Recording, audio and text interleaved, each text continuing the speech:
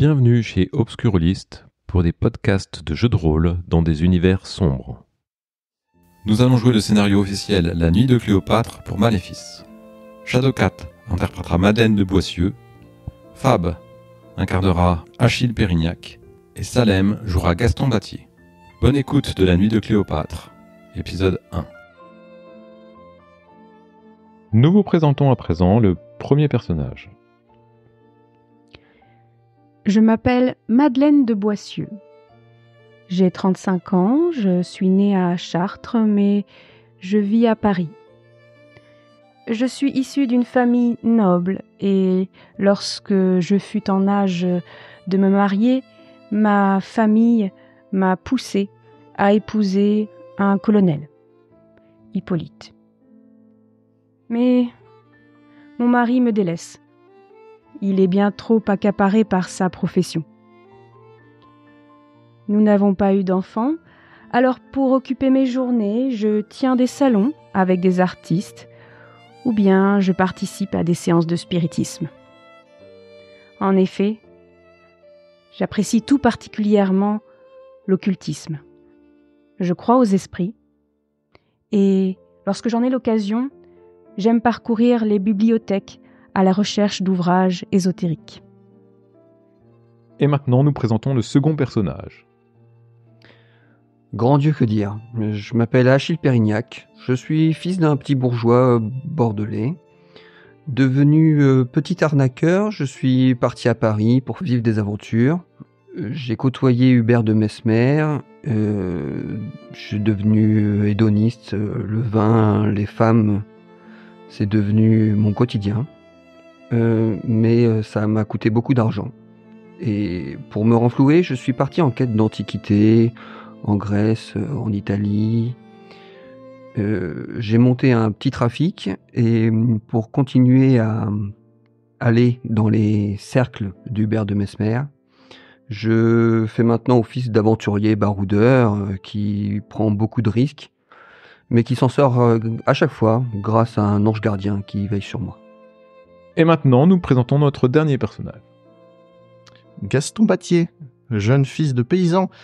Euh, j'ai vécu, à la dure, un peu dans les champs, euh, mais euh, j'ai réussi à trouver une petite porte de sortie à, cette condition, car à l'école j'étais doué de, mon stylo, de ma plume. Je suis devenu un jeune écrivain. Je suis monté à Paris pour dénoncer un peu cette condition paysanne, pour essayer de, de dénoncer, de, rendre fiers mes parents, de faire porter cette voix qui est la leur et qui est celle de tous les, gens du peuple.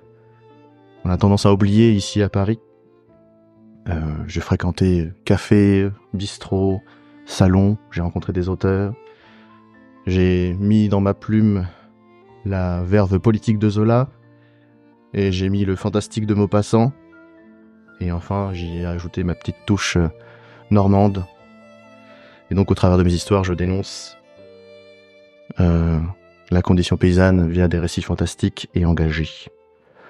Je commence à percer un peu, mais euh, je ne suis pas encore le plus, grand écrivain qui soit. Euh, J'ajoute aussi dans mes écrits beaucoup de, moi, de mes, croyances par rapport à l'aspect de la religion. Elle nous protège du, du mal, comme j'aime à l'appeler, et de nos superstitions paysannes. Que dire de plus, si ce n'est que j'ai fini par rencontrer euh, euh, via Hubert de Mesmer, qui m'a ouvert un peu les portes euh, parisiennes, j'ai fini par rencontrer Madeleine, qui, m'a invité dans ses salons. J'ai donc étendu mon cercle de connaissances et j'ai aussi également rencontré Achille Pérignac, un, aventurier plutôt charmeur. Et voilà, que dire de plus Merci beaucoup. En ce soir de réveillon du 31 décembre 1903, un froid intense enveloppe Paris et vous êtes attendu pour 19h à la Vestale, la propriété du maire de Mesmer, non loin de Sceaux. Il a fallu que vous prévoyiez votre trajet jusqu'à sa demeure, sachant que sans doute euh, son homme à tout faire euh, vous attendrait à la gare. Pour se rendre à Sceaux, il y a essentiellement deux moyens principaux qui vont être le tramway depuis Saint-Germain-des-Prés ou le train depuis la gare du Luxembourg à Paris. ce qui m'intéresserait de savoir, c'est qu'est-ce que vous avez pris comme affaire pour ce réveillon et éventuellement comment vous y rendez. Sachant que euh, Hubert nous a invités tous les trois à son réveillon, je pense que je vais entreprendre de contacter euh, Achille et Gaston pour euh, les inviter à prendre le, le train avec moi en fait. euh. genre, euh, je sais que Gaston il a pas trop les moyens, donc je vais, je vais lui offrir son, son billet de train et puis euh, bon Achille, je pense qu'il peut-être il le prendrait mal, euh, voilà au niveau de son orgueil de, de mâle, donc euh, je propose juste que nous prenions le train ensemble sans, sans proposer de lui offrir le billet. D'accord. Moi, je pense que je vais euh, mettre un beau costume, mettre euh, un grand manteau en cuir et réussir à attraper le tram au dernier moment parce que je suis vraiment en retard, mais j'arrive vraiment à attraper le dernier tram au dernier moment euh, Pour te rendre à la gare. pour me rendre à la gare. Bah, moi, je pense que je vais prendre mon plus beau complet, euh, mais malheureusement pas forcément de la même qualité que ceux d'Achille. Et euh, oui, je vais répondre favorablement à, à l'invitation de Madeleine parce que ça me fait plaisir et que ça me fait voyager gratuitement. Sans que je m'en profite un peu. Alors moi, je mets une, tenue euh, confortable, pratique de voyage, et dans ma valise, je prépare évidemment une belle robe, euh, et peut-être que je, en plus de ma valise, je prends une boîte à chapeau, euh, et je mets un manteau chaud de fourrure, parce qu'on est fin décembre et il fait froid, et euh, peut-être que je prends un, ouvrage. euh, un ouvrage ésotérique euh, dans ma valise. euh, voilà, je réfléchis à ce que j'amène quelque chose. Après, je sais que Hubert a, ce qu'il faut chez lui, donc je prends juste un, livre. D'accord, très bien. Effectivement, il fait très très froid à Paris. Il y a de la neige qui tombe en permanence. Il y a des du gel sur les trottoirs. Enfin bon, c'est un froid assez assez prégnant. Et euh, vous prenez le train, vous vous êtes content de vous retrouver. Bon ben vous, ça faisait peut-être quelques semaines ou quelques mois que vous ne vous étiez pas recroisés. Vous prenez le train et vous arrivez à 18h30 à la gare de Sceaux, où Amédée, l'homme à tout faire de d'Hubert de Mesmer, vous attend avec une calèche. Vous arrivez euh, assez rapidement à La Vestale. C'est une maison bourgeoise de belle facture. Riche mais discrète. Vous avez un bâtiment principal, des écuries et une maison de concierge. Amédée arrête la calèche devant le perron. Vous descendez prestement. euh, Amédée prend ta valise, euh, Madeleine, et vous rentrez euh, pour vous réchauffer euh, dans, la demeure. Dans le hall d'entrée, Amédée vous accueille et vous enlève vos, vêtements pour les suspendre et tout ça, pour, pour- vous accueillir en fait. Euh, il, fait son travail. Vous êtes euh, dans le, en train de, vous débarrasser et vous entendez euh, à travers la cloison peut-être, ou vous ne savez pas, deux voix. J'en ai assez d'entendre parler de lui.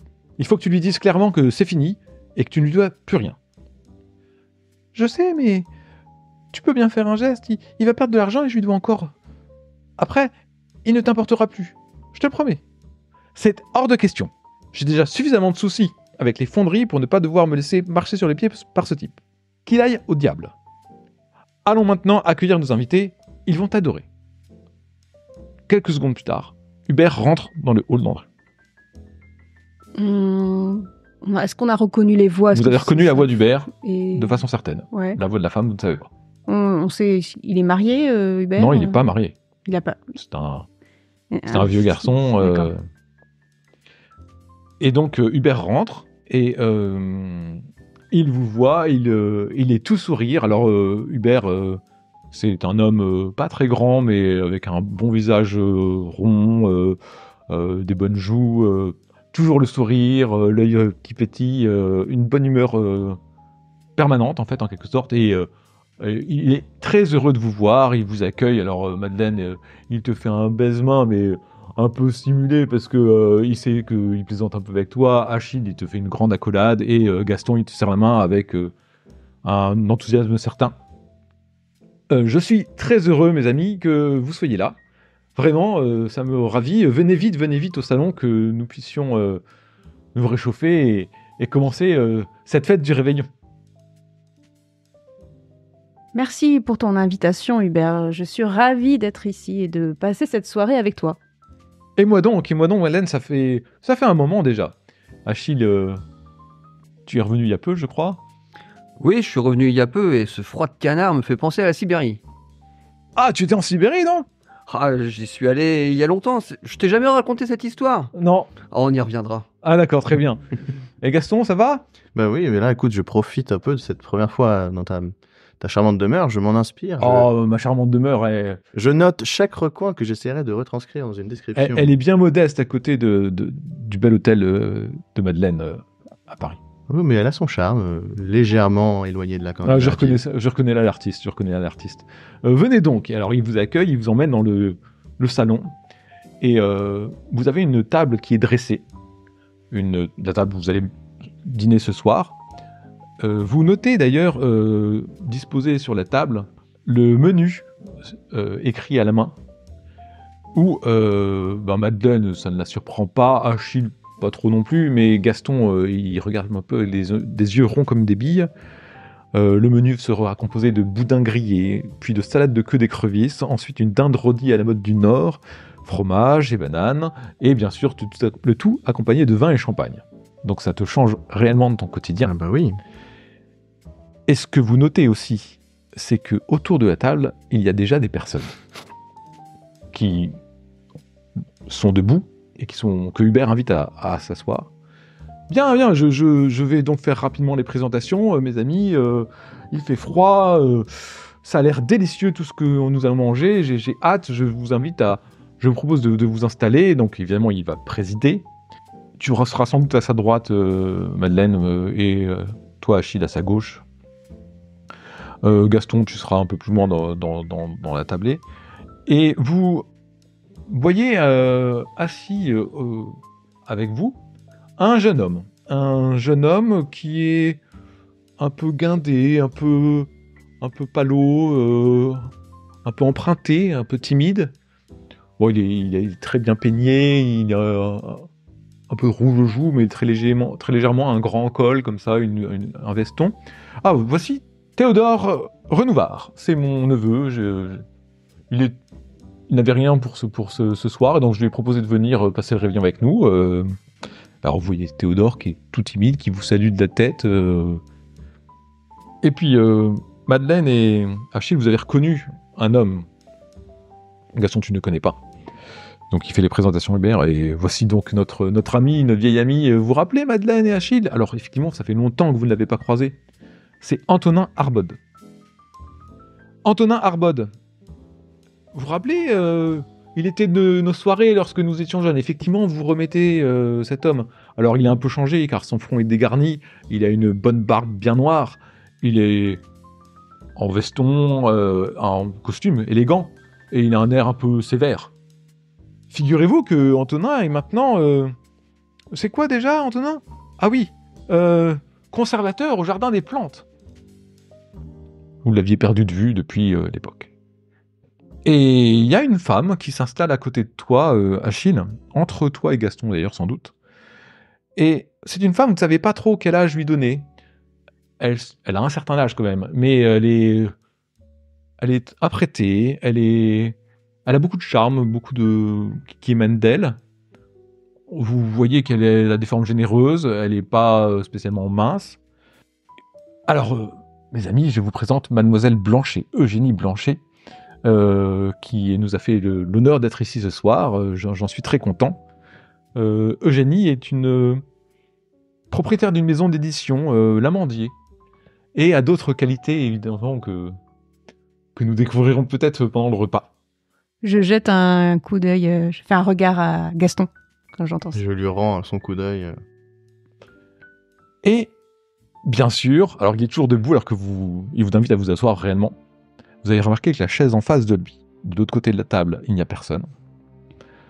Si je vous ai tous fait venir ici, mes amis, ce soir, c'est non seulement pour fêter la nouvelle année avec vous, et pour vous dire, et je suis vraiment tout intimidé, comme, euh, comme dans ma plus grande jeunesse, euh, je vais me fiancer Toi, Hubert Oui Félicitations Alors je vais vous présenter ma, ma future. Sylvie, Sylvie, viens Et il y a une jeune fille qui rentre, euh, qui a 22 ans à peu près.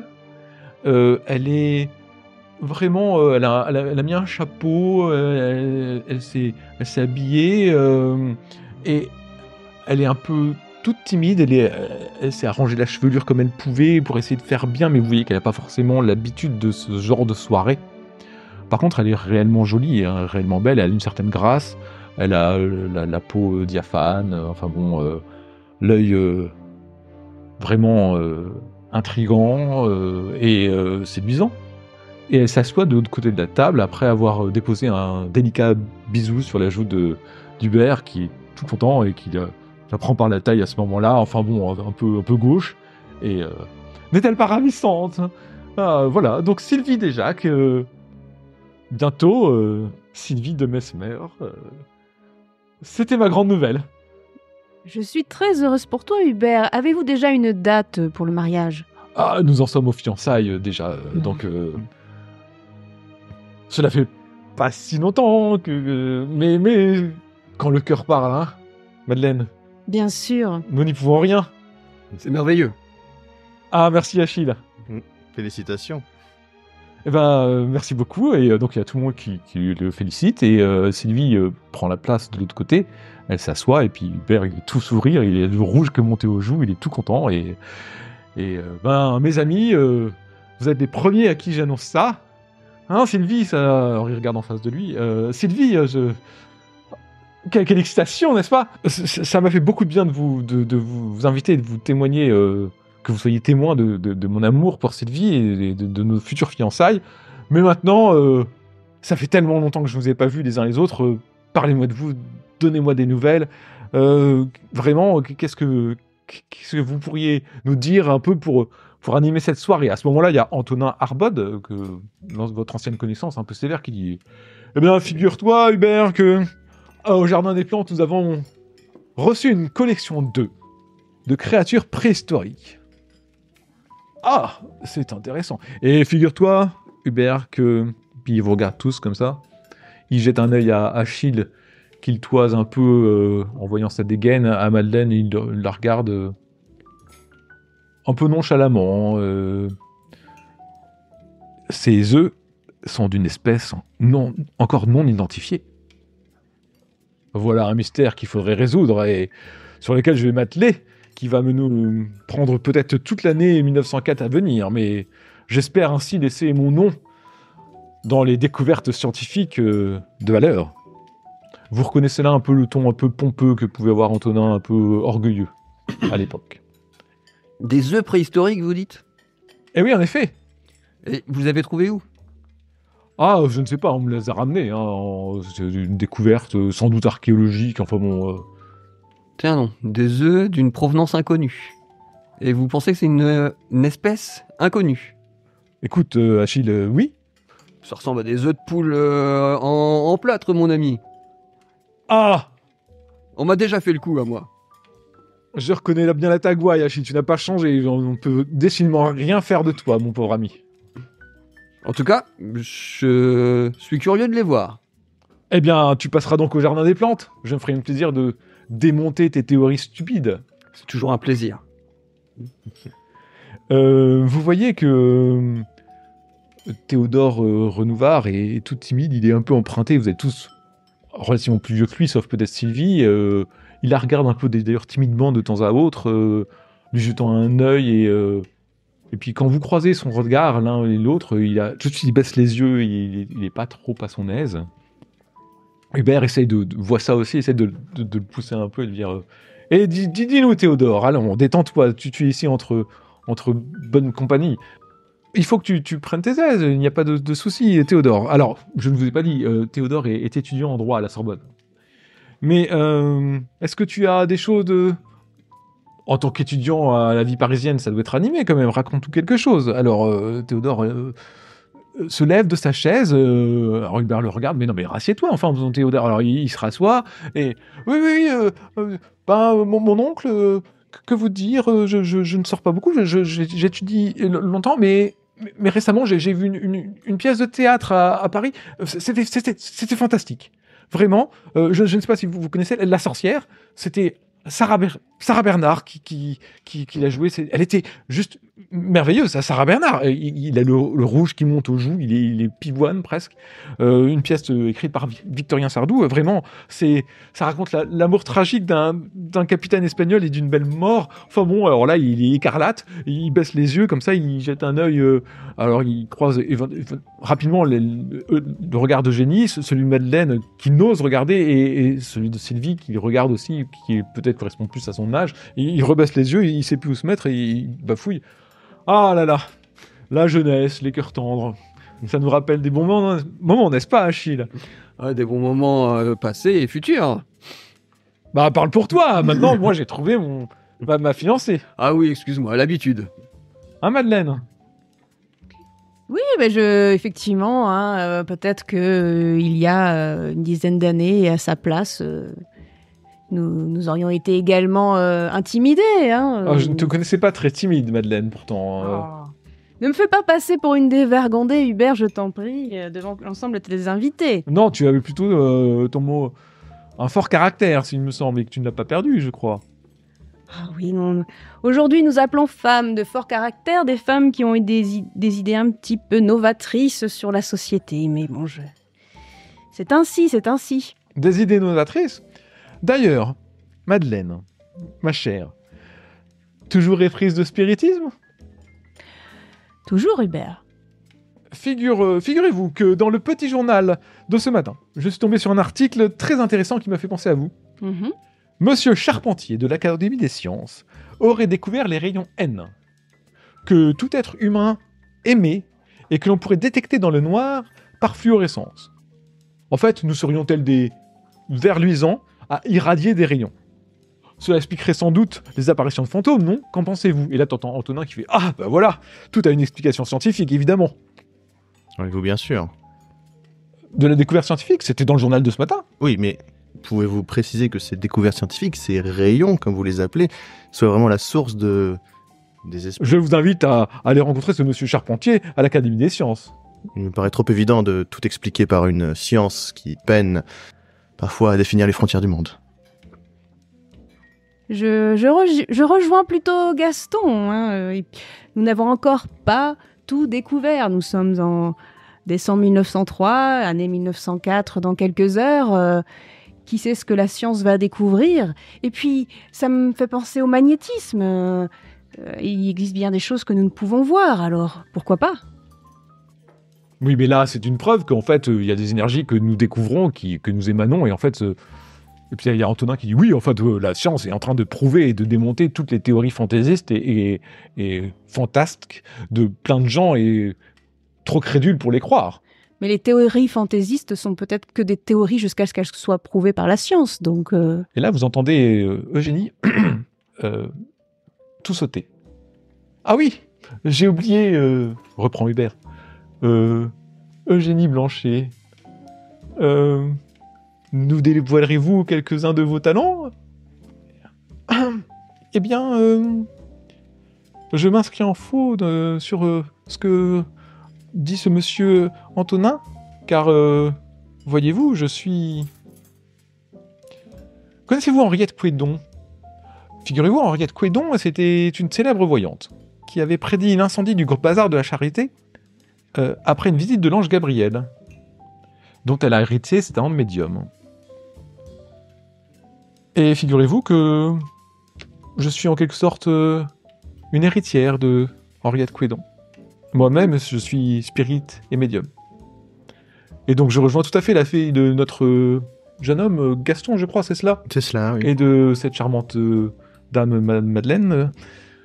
Et je soutiens que effectivement, il y a sans doute des choses que nous ne pouvons pas percer et pas découvrir, et il faut laisser une part de mystère. Et la science ne peut pas tout démontrer. Est-ce que la science a prouvé l'existence de Dieu d'ailleurs?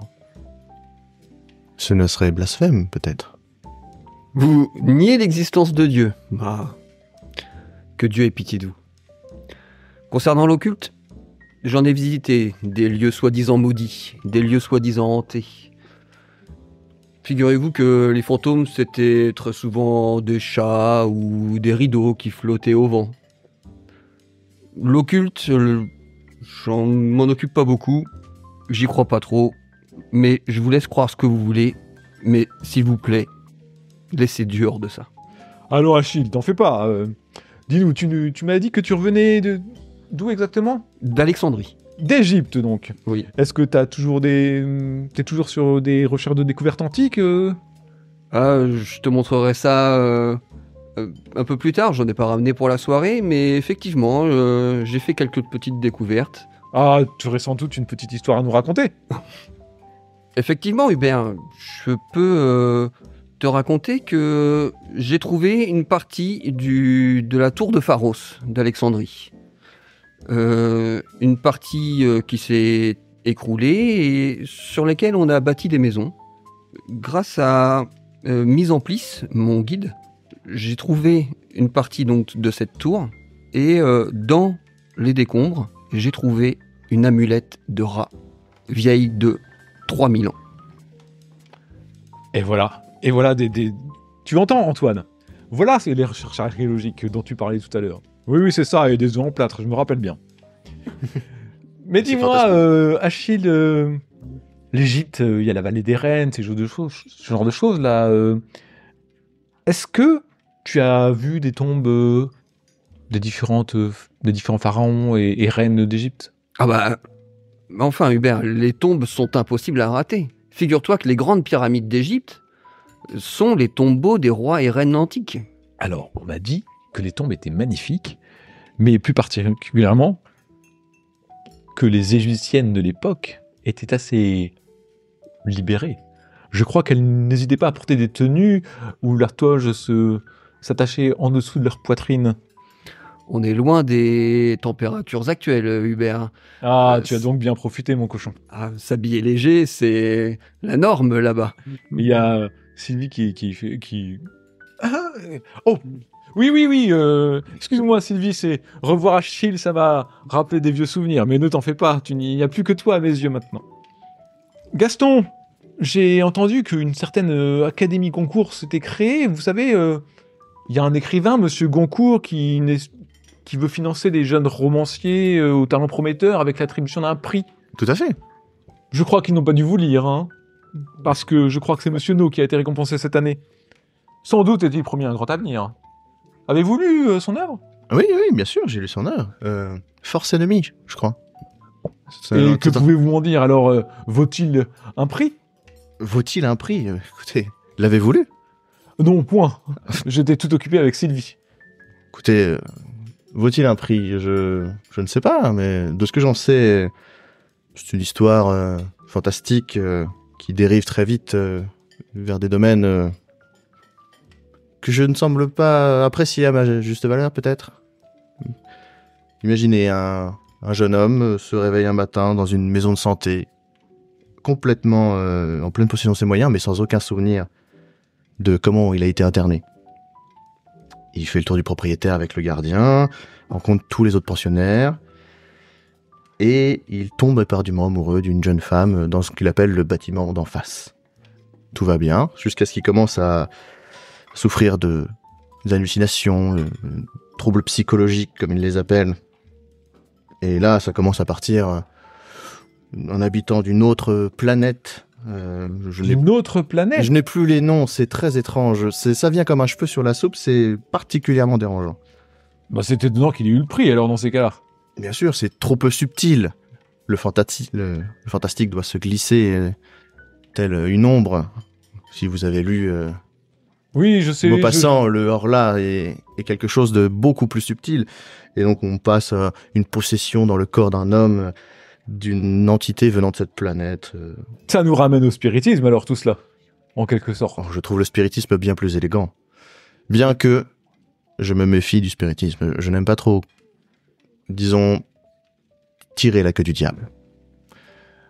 À ce moment-là, euh, il y a Sylvie qui, est restée discrète depuis euh, tout le repas. Bon, le repas continue évidemment, les plats sont amenés euh, par un homme. C'est pas Amédée qui amène, c'est sans doute un extra qui a été pris pour la soirée. Les plats arrivent et puis vous mangez, vous, dissertez un peu comme ça de, choses et d'autres. Et au bout d'un moment, il y a, Sylvie qui, commence à dire, alors qu'on arrive à la fin du repas.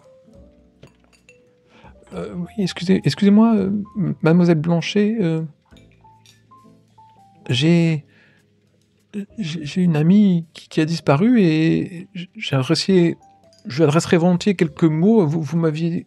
Vous avez l'air de dire qu'on pouvait éventuellement contacter les morts, des choses comme ça. Donc, euh, c'est un moment assez important pour moi, vous comprenez je vais, je, vais, bientôt me fiancer. Et. Ben, cette amie disparue, je n'ai pas eu le temps de, lui annoncer. Et j'aurais bien. Enfin, je, je ne sais pas si c'est. Oh, mais. Mais ainsi soit-il. Nous, y adhérons immédiatement euh, après ce délicieux repas. Ça, c'est Eugénie qui, répond tout enthousiaste, alors que Antonin commence à faire la moue de son côté. Et Hubert, lui, euh, en voyant la demande de sa, future, euh, mais pourquoi pas, pourquoi pas, si cela peut faire plaisir à, Sylvie, ma future fiancée, j'en serai. Et le repas arrive sur la fin. Nous avons qu'à passer au petit salon. Il y a une table, sans doute ça, ça y conviendra très bien pour la séance. Est-ce que ça vous va, mademoiselle Blanchet? Euh, oui, oui, très bien, très bien. Et euh, il commence à se diriger avec Sylvie et lui-même dans le petit salon euh, d'à côté, alors que Antonin et Théodore sont là, ils savent pas trop quoi faire. En fait, euh, je sais pas comment vous faites. Est-ce que vous voulez aller les voir? Est-ce que vous restez là? Qu'est-ce que Ah Bah oui, moi je suis ravie euh, qu'on propose une séance de spiritisme. Ça, hum, je préfère que euh, Antonin euh, ne soit pas présent parce que j'ai pu constater son scepticisme et ça peut un peu gâcher la séance, selon moi, s'il était présent, à, faire un peu le rabat-joie. Donc, et puis le Théodore, bon, je pense qu'il est gêné, il aura qu'à décider par lui-même. Donc je suis le mouvement en fait. Hubert sait très bien euh, que j'apprécie beaucoup l'occultisme, donc euh, je suis au mouvement je, pour aller dans le- la pièce dédiée. Moi aussi, je suis le mouvement euh, quelques pas derrière. Je pense pas participer, mais au moins euh, rester avec Hubert.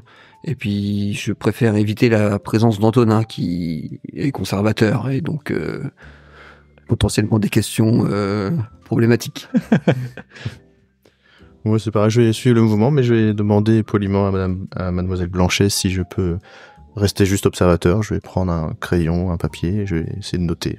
D'accord, très bien. J'aimerais bien m'inspirer de cela, et puis euh, j'aimerais bien aussi, je lui glisse un mot comme quoi peut-être euh, je serais capable de lui proposer des, des nouvelles euh, qu'elle serait ravie d'éditer. Théodore, lui, il, il va, il va vous suivre, en fait. Il, il va suivre. Il, quand il voit que Sylvie, Hubert, tout ça partent, il, il vous suit. Il se rapproche même un peu de Sylvie parce que, en fait, c'est la personne qui correspond un peu à son, âge. Et euh, il va s'asseoir autour de la table avec euh, Madeleine, Hubert, Sylvie et Eugénie, alors que vous deux, vous restez plutôt debout. Et Antonin, lui, il va pas rester tout seul dans le grand salon, donc il va, il va venir dans le petit salon aussi, et rester debout aussi derrière, à regarder les différents tableaux, et à essayer de regarder avec un œil un peu inquisiteur ce qui va se passer. Vous constatez que Mademoiselle Blanchet va prendre la main de Sylvie, sa main gauche. Elle la tient euh, avec la sienne. Bien, ma- maintenant, mademoiselle, vous allez fermer les yeux et appeler par trois fois votre ami, par son prénom. Sylvie ferme ses yeux. Nadia? Nadia? Nadia? À ce moment-là, au bout de quelques secondes, un froid subtil se fait ressentir. Sylvie s'agite. Ses mains se crispent autour de la main d'Eugénie. Les volutes du bâton d'encens commencent à dessiner des figures irrégulières. Et la fumée prend la forme d'une bouche, puis d'un visage féminin. La bouche semble s'agiter, comme si elle parlait, mais aucun son n'est perceptible. Sylvie prend la parole. Ch- ch- Chère Nadia, je suis si triste de ne plus t'avoir auprès de moi. La figure dans la fumée semble répondre. Vous n'entendez toujours rien. Je ne veux plus avoir affaire à lui. C'est c'est pour ça que je vais, je vais épouser Hubert. Je, je n'ai plus de raison de chercher à te rejoindre. Je serai heureuse pour nous deux. Soudain, des éclats de verre proviennent du salon et de la salle à manger. Il y a un souffle d'explosion, une lumière intense, et vous constatez avec effroi qu'un incendie se déclare. Et ainsi se termine La Nuit de Cléopâtre, épisode 1.